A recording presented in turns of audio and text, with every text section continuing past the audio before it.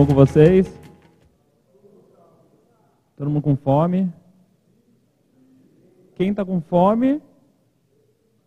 Quem não está com fome está cheio, né? Porque já almoçou. Então vamos lá, vou começar aqui a palestra. Eu sou esse aí, o Cafo. Tudo bem? E...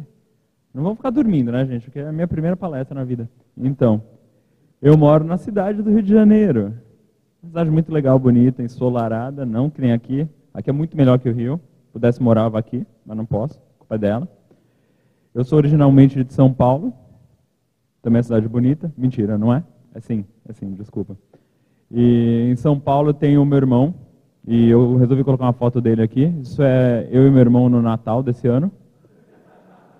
Acabou a luz na casa da minha mãe e a gente falou, ah, vamos tirar foto. E porque a gente sempre faz essas coisas, sempre. Até quando a gente não está junto, a gente faz, mesmo eu no Rio, ele em São Paulo. A gente sempre faz essas coisas. É um jeito de continuar junto, né?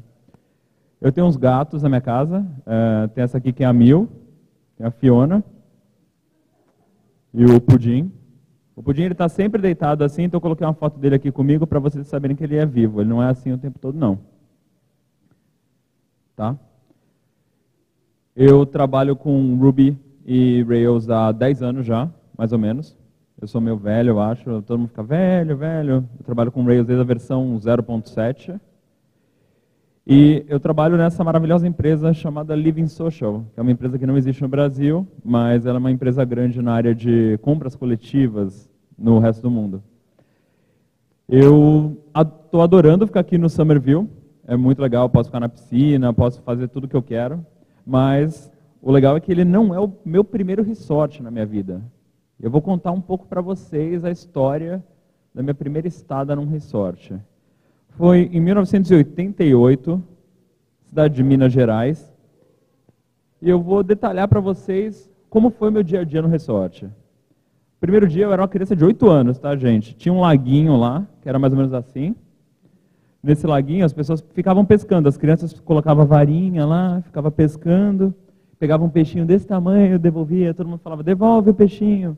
Só que além disso, tinha um monte de pato. Um monte, uma caralhada de pato.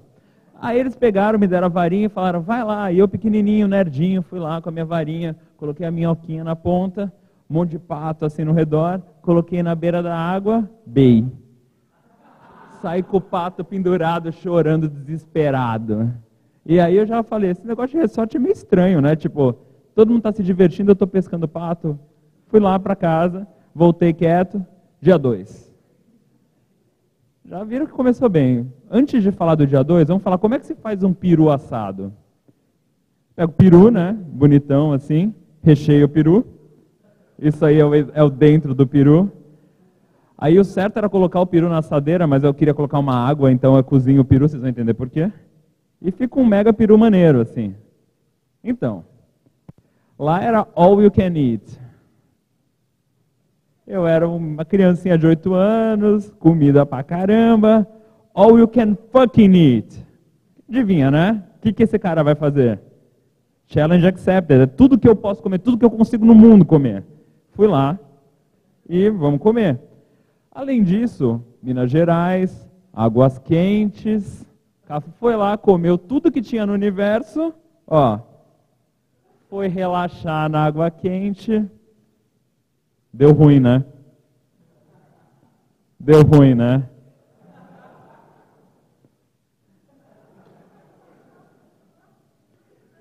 E aí ficou aquela criancinha lá, já tinha pescado o pato, já tinha passado meio mal por causa da cozinhada, dia 3.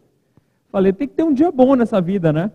E tinha um lugar lá que era um fliperama. Para quem não sabe, isso é fliperama. Na nossa época não tinha videogame em casa, não. Você tinha que ir no fliperama jogar. E eu tinha oito anos, mas eu adorava já videogame. E eu queria jogar o fliperama. Só que tinha um monte de adolescente no fliperama jogando lá. E eu lá pequenininho. Eu fui lá no fliperama jogar um Atari. Acontece que tem um problema.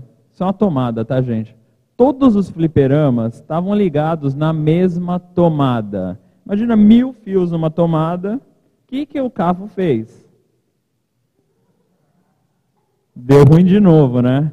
Eu desliguei a luz do lugar e todos os fliperamas. E aí, o que aconteceu com os adolescentes? só me ferro.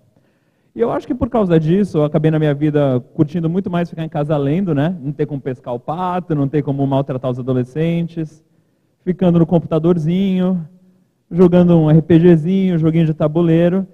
E eu sempre gostei muito de jogar uns jogos de computador meio doidos, videogame. Quem conhece Cobra Mission conhece, quem não conhece não vai conhecer porque nem roda mais no computador. E aí o pessoal começou a falar, pô, o Cafa é meio viciado em videogame, né? Curte pra caramba.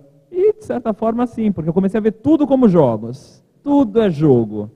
E, como sempre, eu procurava o cheat code das coisas, eu ficava, ah, como é que eu posso melhorar isso? Eu acabei colocando isso em outras coisas na minha vida.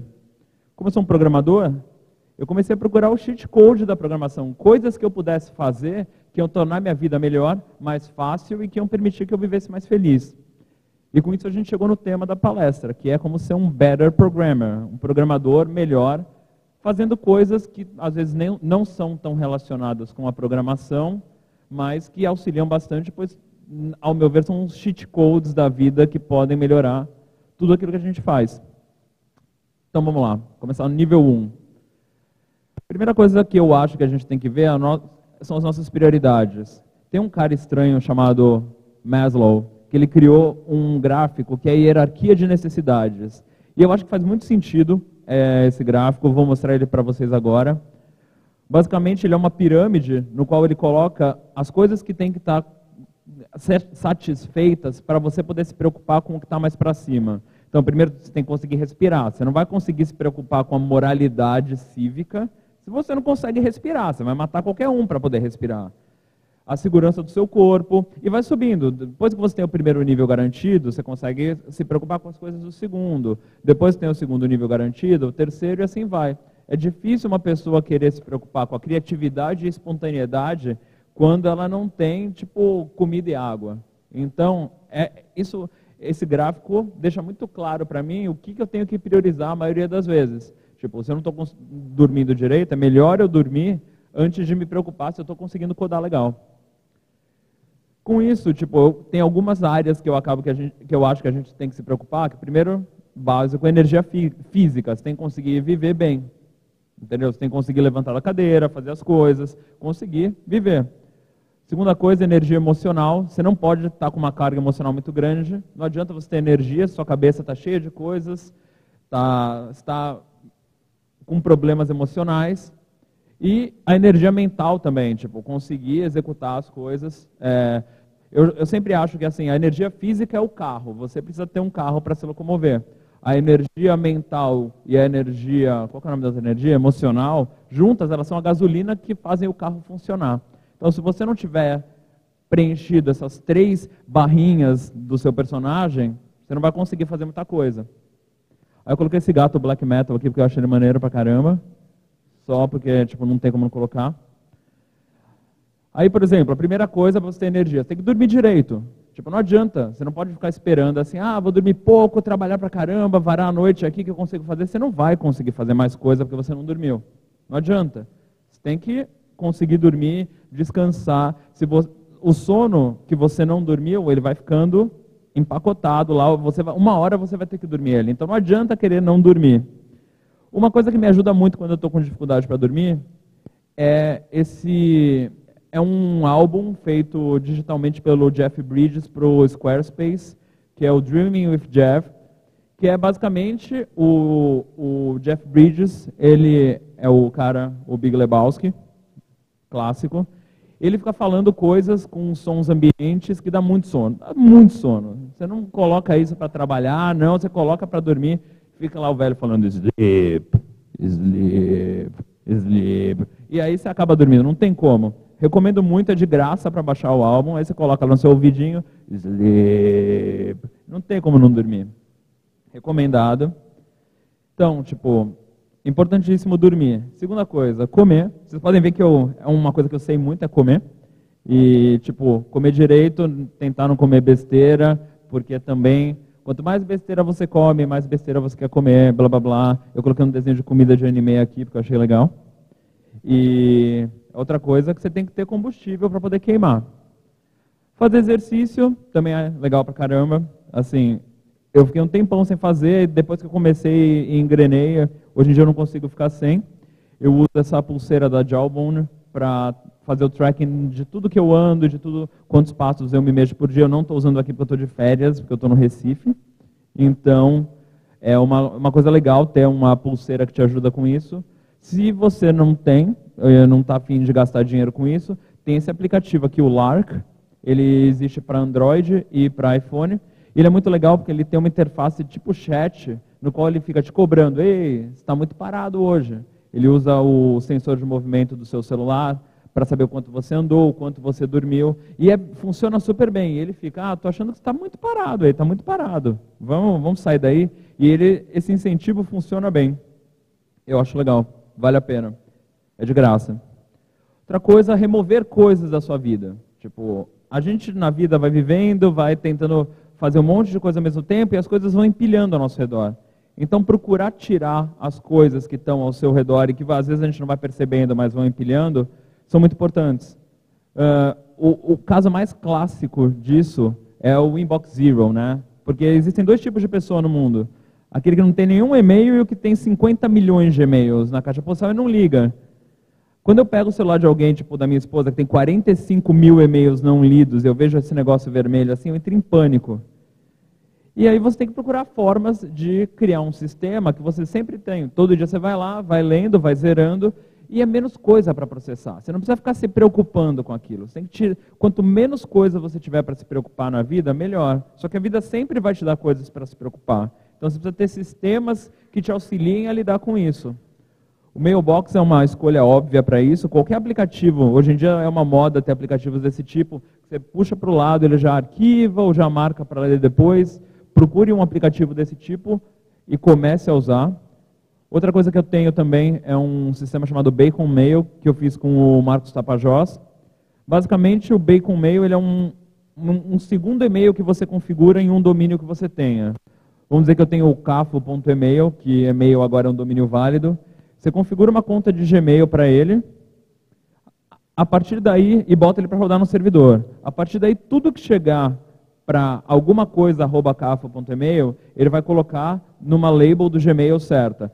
E você pode usar qualquer coisa, não precisa ir lá e criar, porque você configura ele de um jeito que todos os e-mails que chegarem vão chegar numa conta tal. Aí você vai lá e coloca, tipo, uh. E todo dia ele manda um relatório para o seu e-mail principal com todas as mensagens que, que chegaram tal. É bem legal, tá no GitHub. Depois vocês pegam no slide o link que eu coloquei lá.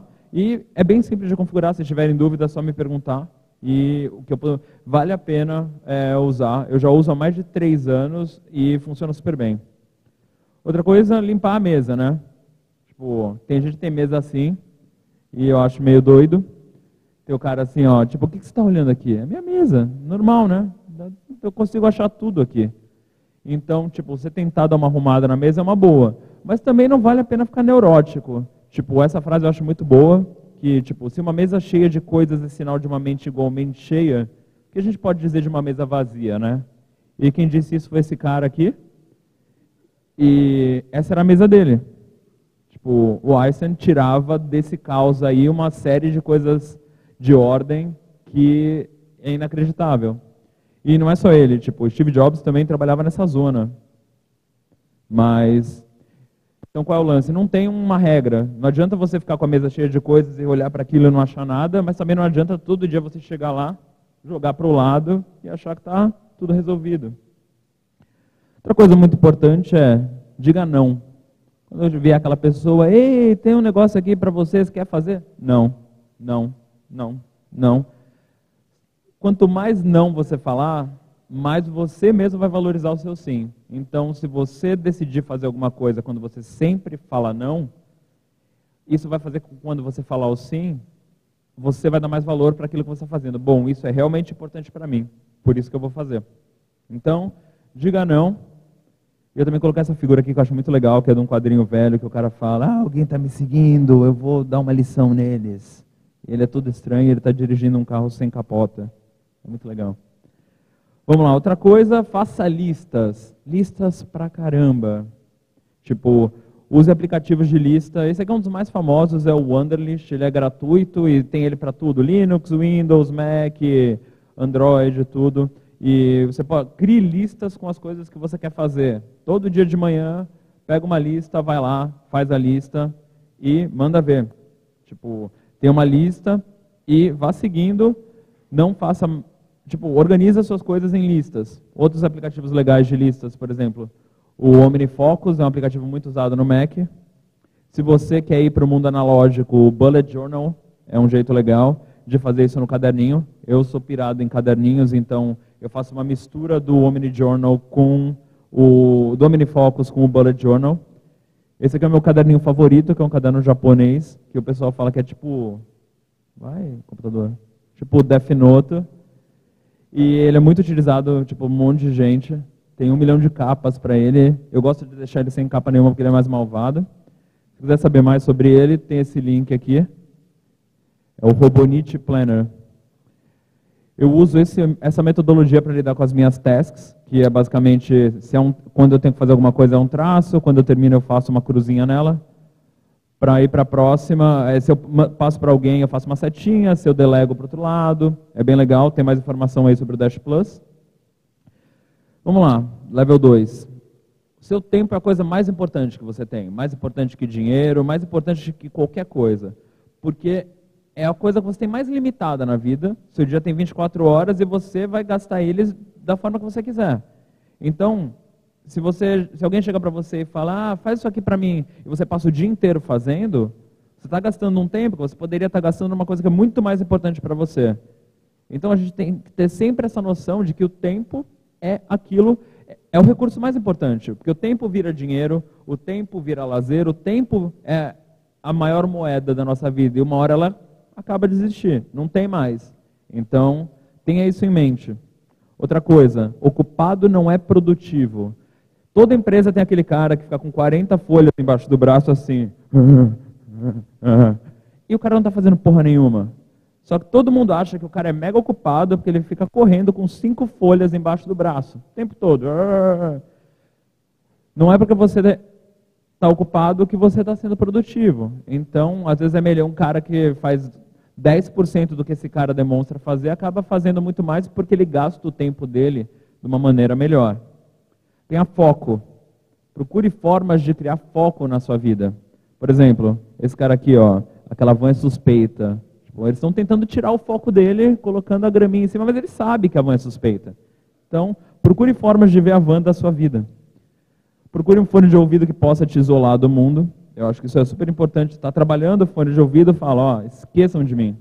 Se você tipo gosta de músicas que te deixam muito emocionado e não consegue trabalhar por causa disso, tem algumas ferramentas tipo Simple Noise que geram um ruído que te isolam muito bem. O Coffeetivity também é uma coisa muito legal, que coloca um barulho de cafeterias do mundo inteiro para limpar o seu ambiente. Vale muito a pena.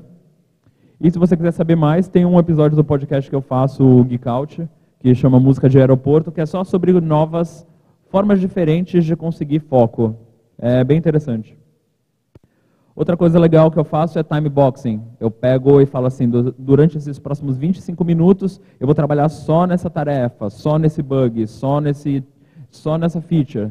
E eu uso uns aplicativos que ficam me enchendo o saco, falando, ó, oh, você está trabalhando há 20 minutos, quando acabou, acabou.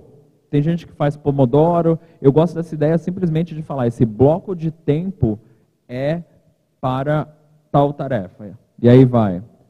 Para quem tem Mac, esse aplicativo aqui, o Zonebox, é muito legal. É, ele é bem simples, ele te ajuda a contar o tempo. E o desenvolvedor é amigo meu, ele deu três códigos aqui para gente. Eu não vou deixar para vocês copiarem, mas quando tiver os slides, quem pegar, pegou. Só entrar com o código na App Store e vai conseguir uma cópia do software de graça. E... Delegue. Não tente fazer tudo você. Não adianta. Você não vai conseguir. Como eu falei, o tempo é a coisa mais importante que você tem. Então não adianta você querer fazer tudo. Você tem que contratar ou programar assistentes. O Bacon Mail, como eu falei, é um exemplo de um assistente que trabalha para mim o tempo todo. Todos os e-mails que chegam, ele vai lá, faz a mágica e ele só me manda um relatório no final do dia. Outra ferramenta que eu uso muito é o IFT, ou ifttttt.com. É uma interface web para vários serviços, que é muito legal. Por exemplo, eu uso uma tarefa que é assim, se eu estiver no supermercado, me manda um SMS com, a link, com o link para minha lista de compras. E é super fácil, você faz tudo pela web, vale a pena usar, dá para fazer um monte de receitas que te ajudam. Se você quiser contratar alguém, o Fiverr tem uma interface em português, você consegue achar um monte de gente que faz um monte de coisas por 5 dólares. Tipo, ah, preciso de alguém que faça um logo para mim e eu não sou bom designer. Não fica perdendo tempo tentando aprender o Photoshop. Vai lá, paga 5 dólares, a pessoa faz, você cobra do cliente. Vale a pena. É. Anote tudo que puder. Tipo, tira as coisas da sua cabeça. Não fica assim, ah, eu guardo tudo na minha cabeça, eu não preciso anotar nada. Aí quando você vai lá, o que, que era aquilo mesmo? Tipo, do meu lado, do lado do meu computador tem uma pilha de 20 cadernos. E eu vou anotando um monte de coisa neles e depois você processa. Eu tenho aqui um link para uma action do Alfred, que é basicamente o que você escrever vai para um TXT e pronto. Você não precisa. Pensou em alguma coisa, escreve lá, já está guardado. Outra coisa que eu uso muito são mind maps. E eu procurei pra caramba um monte de ferramentas. E tem um monte de ferramenta nova bonitinha, mas o FreeMind ainda é o melhor. Por exemplo, eu tenho um arquivo, essa aqui é uma, uma visão do arquivo antigo que eu tenho. Sempre que eu tenho alguma dúvida, que eu não sei alguma coisa, eu vou, procuro na internet. Achei a solução, eu faço, adiciono a resposta no meu gráfico. Com isso, é muito mais fácil de eu achar a resposta depois, porque ela vai seguir a lógica do meu, do meu pensamento. Ah, isso aqui é um método no string que faz tal coisa que eu não tenho ideia, não lembrava do que, que era. Eu procuro aí antes e funciona. Então, é uma ferramenta muito boa. E outra coisa importante é contabilizar todas essas coisas que você faz, para saber se você está melhorando, para ver se está funcionando. Eu tenho um sistema aqui que eu fiz há muito tempo, que é o BookQ e eu coloco todos os livros que eu leio nele. Então eu consigo saber quantas páginas eu li desde 2007, por exemplo. E quantos livros eu li por ano. Quem quiser acessar, o link é esse. Quem quiser usar, é gratuito. E se você quiser esse adesivinho, pode me, me. Entre em contato comigo, me manda um tweet que eu te mando pelo correio. Que eu tenho um monte em casa e a minha mulher quer que eu mande embora para levar esse prazo. Eu tenho uma tabela, por exemplo, que eu coloco os cafés que eu faço, eu coloco quantos grãos, quanto a quantidade de grãos, a quantidade de água, blá blá blá. E aí eu vou dando notas. Eu sou meio maluco com essa coisa de ficar anotando tudo, né? Tipo, acho que maluco até demais, tipo. Fiz um aplicativozinho uma vez para ver como é estava a situação do meu, da minha barriga. Então toda vez que eu ia no banheiro, plim, verdinho, amarelo. Então, não precisa chegar, chegar nesse ponto, tá, gente? Mas Ó, só tinha um amarelinho, né? Bom. Outra coisa legal é, tipo, você anotar de manhã os seus sonhos, anotar as suas primeiras ideias. Tipo, acordou, você anota o que está na sua cabeça, porque é o único momento no dia que você vai estar naquele estado meio grog de sono, assim, e pode aparecer muita coisa. Tem um outro caderninho, óbvio, né? Mais um, mais um motivo para gastar dinheiro com caderno. Quando do lado da cama, eu acordo, se tem alguma coisa importante, eu já anoto. Outra coisa é entenda os rituais da sua vida. Tem coisas que você faz na vida que são muito importantes para você e às vezes a gente não sabe. Por exemplo, para mim é muito importante eu fazer café de manhã. Tipo, todo dia de manhã eu pego, eu moo os grãos, eu fervo a água, eu peso a água antes, eu faço todo um ritual, demora uns 20 minutos para fazer o café que eu tomo de manhã.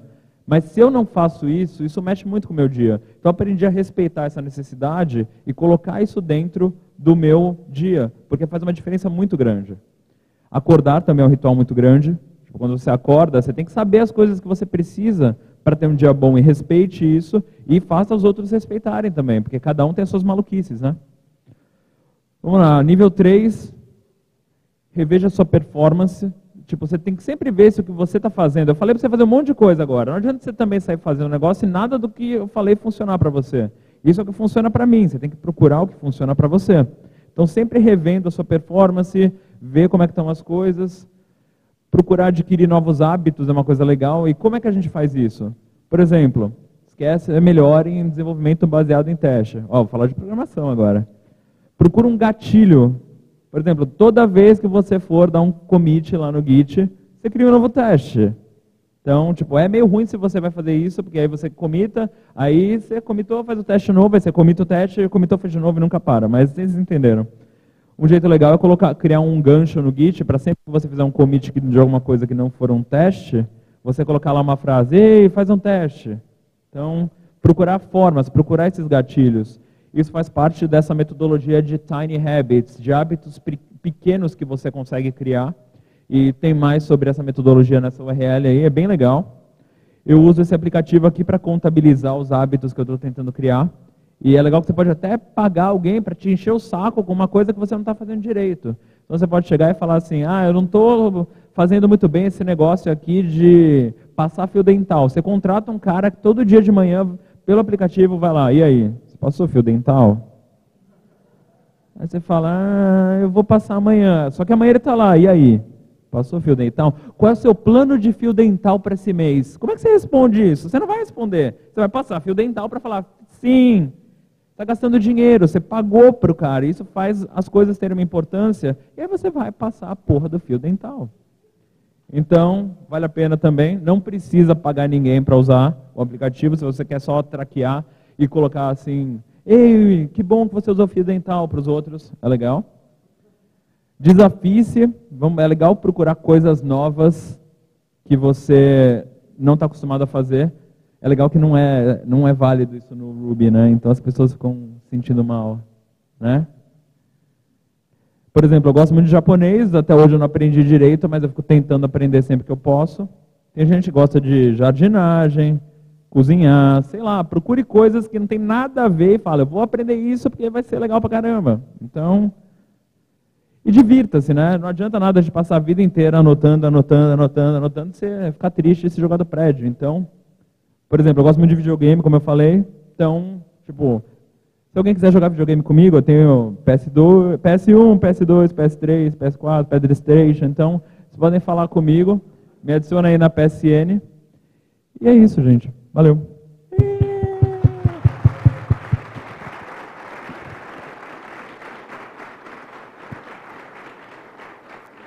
Vai ter pergunta? Alguém tem pergunta? Não tem, não tem o código-fonte do aplicativo do Cocô. Pergunta? Fim. É chato ficar aqui assim. Fala comigo, alguém. Fala. Não, não faz isso, senão vou ocupar a tarde inteira.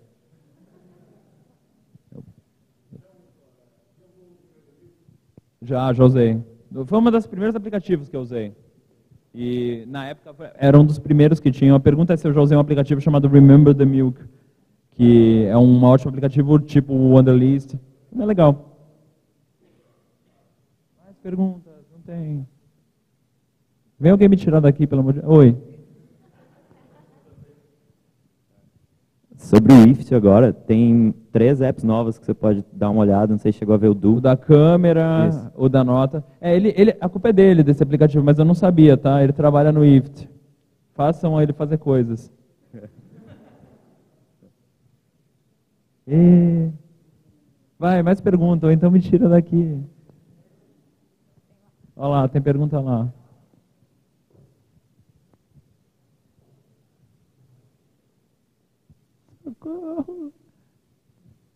Cafo, uh, você falou rapidamente sobre e-mail. Você tem alguma rotina para que você faz para e-mail? Tipo, não vejo e-mail de manhã cedo porque enquanto eu estou na cama, ou só vejo e-mail depois do meio-dia, enfim. Eu gostaria. Tenho meia hora por dia para ver e-mail, não sei. Tem alguma rotina que você tem? Eu gostaria. Eu gostaria, mas na verdade, a, todo mundo vê a pergunta, não precisa ficar repetindo que nem idiota, né? Então, eu gostaria.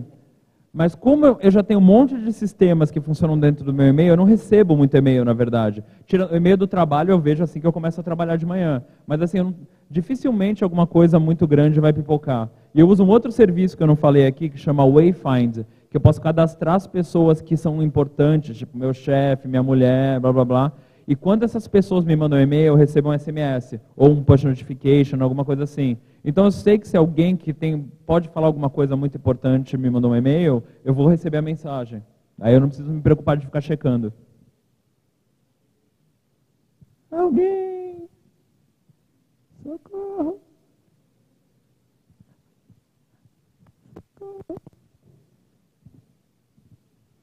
Cafa. Cafa. Oi. É, você tem algum sistema para trocar de hábito, por exemplo? Você falou que usa o CoachMe. Vamos supor, é, quero aprender a cozinhar, fiquei três meses, ah, porra, achei uma bosta, não sei cozinhar. Como é que você controla essas coisas? Do tipo, vou trocar cozinhar por, sei lá, estudar filosofia ou qualquer outra Cara, os... oi, nossa. Uau. Alô. Oi.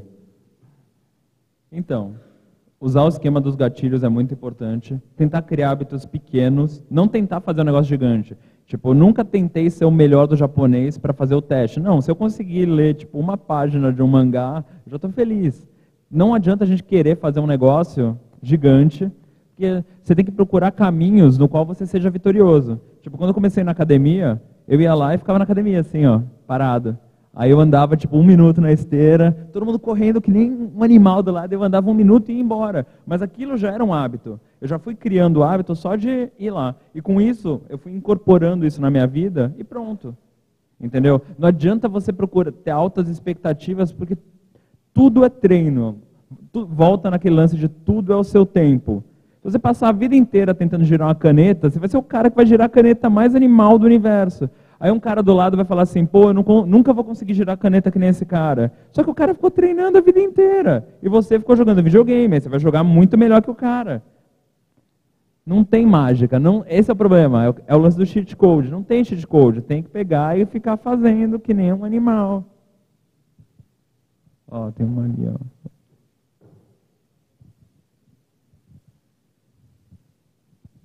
É, eu queria fazer uma pergunta a, a respeito do seguinte, é, da forma, a sistemática que você falou, me lembra muito um profissional que trabalha como freela, é, remotamente, certo? Uhum. E quais o, os impactos assim que você vê é, sobre essas dicas que você deu para uma equipe, trabalhando numa empresa onde a gente vê os padrões que são funcionários trabalhando oito horas por dia, Entendeu? Ah, então. É, quais assim os principais desafios para implementar todas é, essas melhorias que você passou na realidade para o comportamento do profissional?